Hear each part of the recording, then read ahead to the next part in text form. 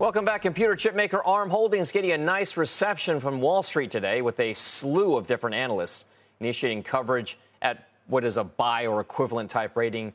And that's despite shares off more than 20% since their post IPO highs. Deirdre Bosa now joins us for today's tech check. Uh, it was 51 bucks at IPO, 69 bucks at the intraday high right after it, and it's nowhere near that right now. So why the buy?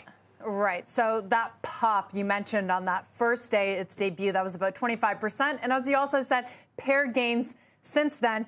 I read 10 analyst reports this morning, so 10 initiations. All of them were buy, like you said, some form, either a buy or an overweight. And these came from the banks that were involved in underwriting the IPO. So they waited 25 days to publish their research. And it's interesting when you look at where the ratings stood before. Before today, there was only one buy. Now there's 14, and there's only one sell. It comes from Bernstein, which did not work on the IPO.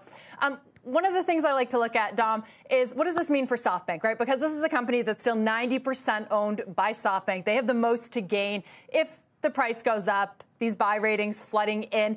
And, you know, when, I want to show you a chart. This looks at where ARM sits in the whole SoftBank world. This is a Japanese conglomerate with holdings in many different things. The blue is the Vision Fund 1 and 2. These are not very liquid because they're investments in private companies. Alibaba used to be the crown jewel, and Masa-san could tap into that because it was public, it was highly liquid, to fund his venture capital push, to shore up finances in times of uncertainty. You can see now that Alibaba makes up just 0.1% of SoftBank holdings. ARM is the new crown jewel.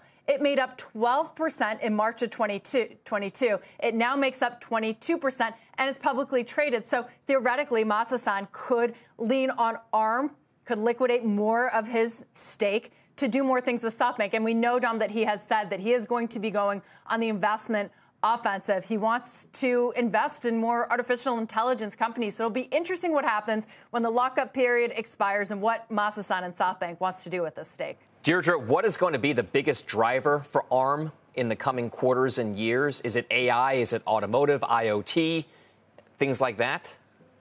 Yeah, I mean, the whole idea why ARM has such a rich valuation compared to many others in the semiconductor space. A lot of the buy ratings, the notes, they talk about sort of the royalties that ARM gets from licensing out the IP. Um, that's very important, but it needs more of a hold in the artificial intelligence space, different end markets. Right now, its biggest end market is smartphones. This is a saturated industry. So a lot of it does rely on whether it's able to move into automotive, especially artificial intelligence and some of those other end markets. All right, Deirdre Bosa with today's tech check on ARM Holdings. Thank you very much. We'll see you later on today.